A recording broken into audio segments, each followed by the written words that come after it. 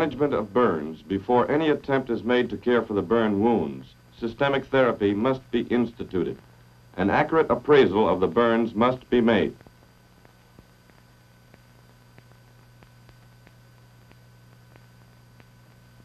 Intensive, adequate supportive therapy must be initiated and a judicious use of colloids and electrolytes continued. The patient's emotional factors must also be considered and his general condition stabilized. Then definitive local care should be instituted. Every effort should be made to minimize contamination. If the burns are minimal to moderate in size, they can be initially debrided in a well-equipped dressing room. If the burn is extensive, an operating room is preferable.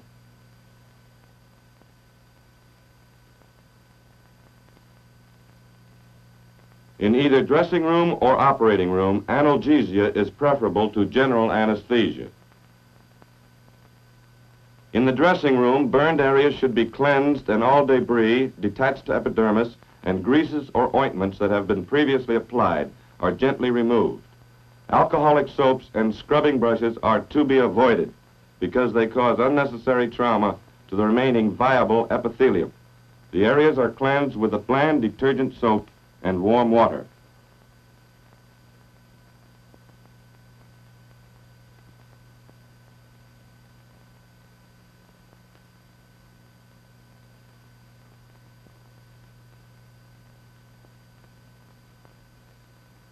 The soap should be removed by irrigation with sterile warm water or saline.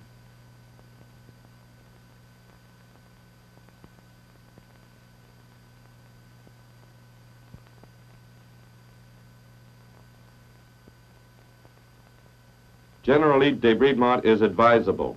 Break all blisters and remove all devitalized epithelium. This non-viable tissue may act as a nutrient for bacteria if it is not adequately debrided.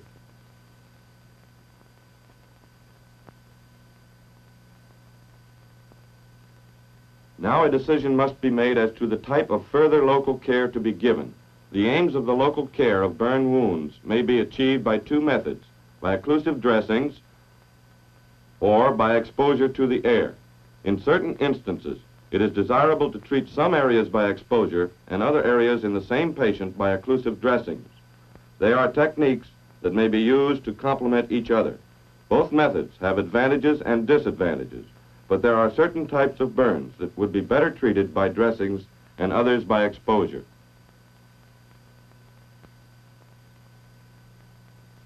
Outpatients and patients who must be transported should have occlusive dressings applied.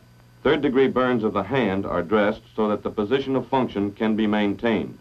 Circumferential burns which cannot be exposed to the air must be dressed.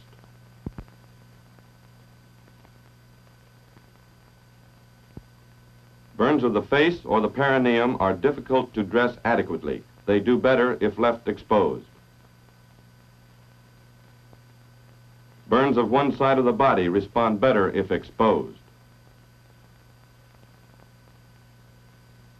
Second degree burns of the hands and extensive circumferential burns are best treated by exposure if they are turned frequently on a Stryker frame.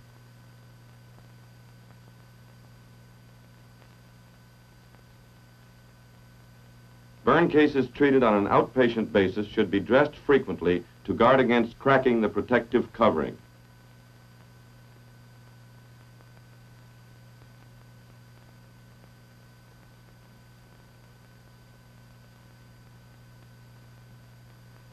Is a patient who will be treated by both the exposure and occlusive dressing techniques. The right hand and arm have sustained circumferential burns. The hand is essentially second degree, as is the forearm.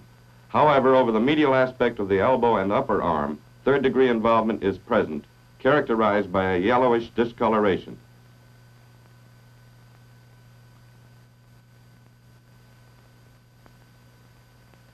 Burns of the trunk and head are present. To expose them adequately to the air, the patient must be turned every two hours on a Stryker frame. This method of alternately exposing first one side and then the other side allows the exudate over the partial thickness burn to dry and form a crust. The eschar or dead tissue of the full thickness burn does not become macerated and remains dry.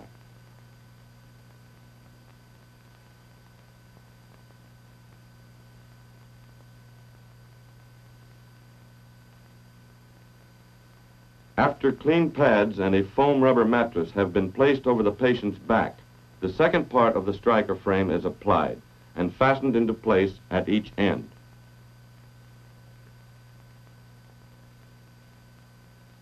The frame is turned quickly so that the patient is now lying on his back.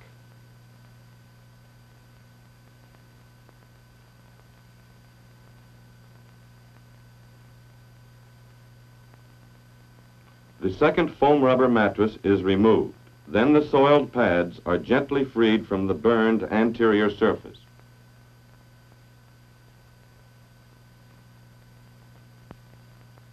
The patient is again exposed to the air. At this time, all the burn areas previously unexposed can be given an opportunity to dry out rapidly. The circumferential burns can be seen over the front and back of the thighs. Again, the whitish third degree areas are noted medially.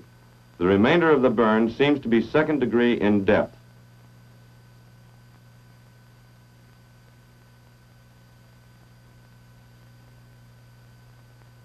The abdomen and chest are covered with a mixed burn, most of which is second degree in depth.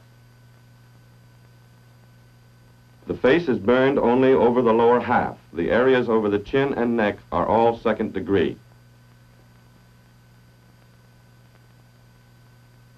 Four days post-burn, dry, firm crusts and eschars can be seen to be well formed.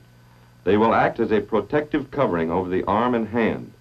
By turning the patient and elevating the hand and arm, the circumferential burns become adequately exposed to the air and maceration is prevented.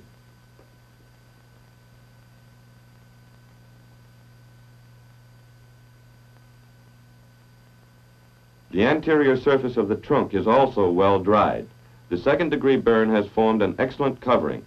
Although contaminating microorganisms may be present in abundance on the burned surface, their proliferation is curtailed by the dryness of the crust.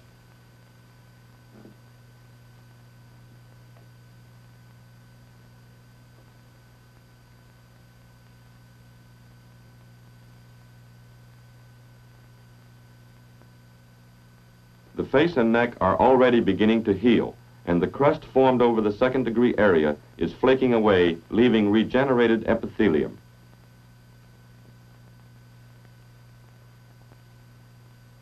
Circumferential burns are best treated by occlusive dressings if the burns cannot be kept dry by frequent turning of the patient on a Stryker frame. The dressings are changed in the operating room approximately every three days.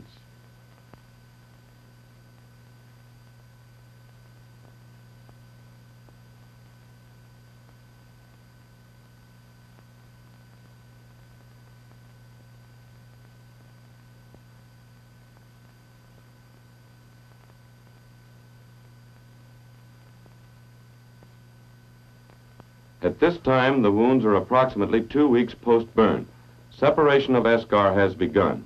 Swab cultures are taken at each dressing change so that the physician may know the type and antibiotic sensitivity of the bacteria colonizing the wound surfaces.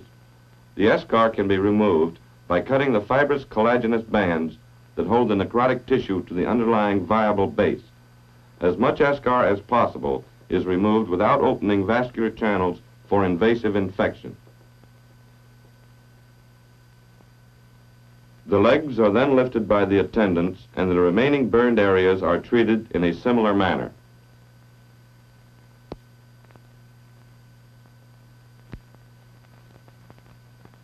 The soiled dressings are discarded. The operative field is redraped. The legs are cleansed to remove surface bacteria.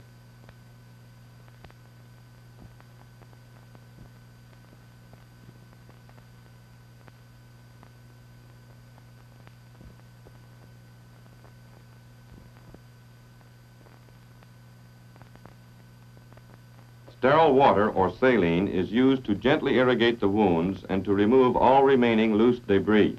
Then the burned surfaces are dried.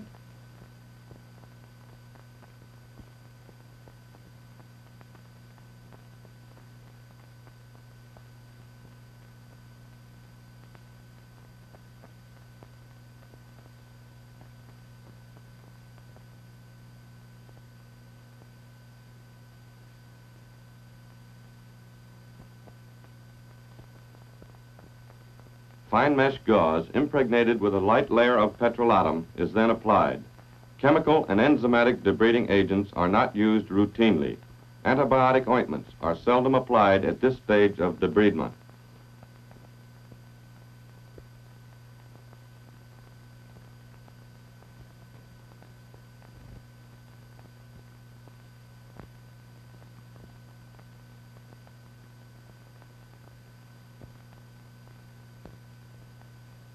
The legs are dressed in large, single dressings which have been previously prepared. These dressing packs are cut to various sizes so that an entire leg or arm or part of a leg or arm can be covered with a single dressing. They are temporarily held in place by towel clamps until the outer wrapping can be applied.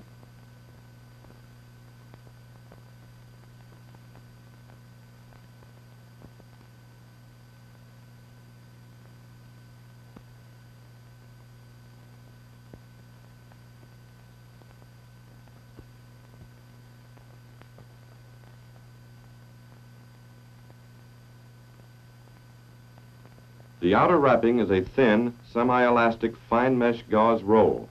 The towel clamps are removed as the outer wrapping is applied.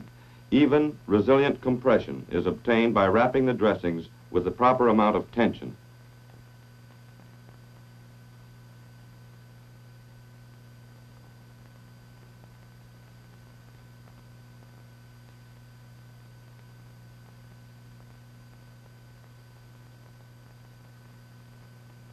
The date of the dressing change is then recorded on a strip of adhesive tape, which is also used to secure the dressing. With the onset of bacterial autolysis beneath the burned surface, wet dressings are resorted to to hasten the removal of crust and eschar. The burned surface is gently cleansed and irrigated.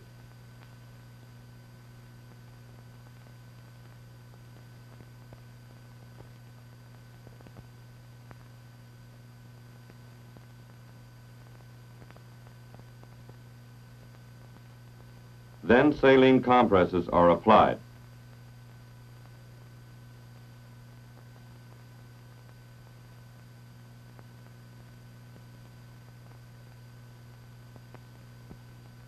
These in turn are covered with a moist five-yard roll of coarse mesh gauze.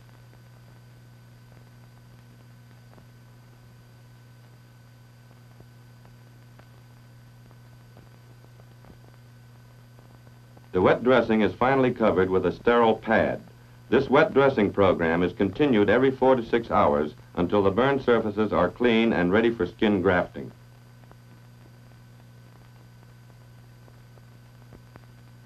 These then, in summary, are the primary aims of local care in the management of burns. Cleanse the wound.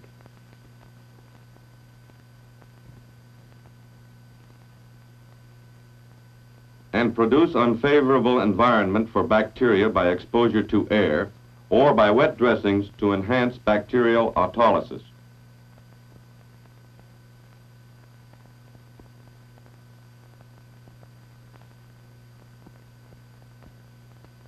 If these principles are followed, partial thickness burns will epithelialize to form normal skin protection. In full thickness burns, however, this protection will be accomplished only when the burned surfaces are able to accept skin grafts by the final step in local care, skin grafting.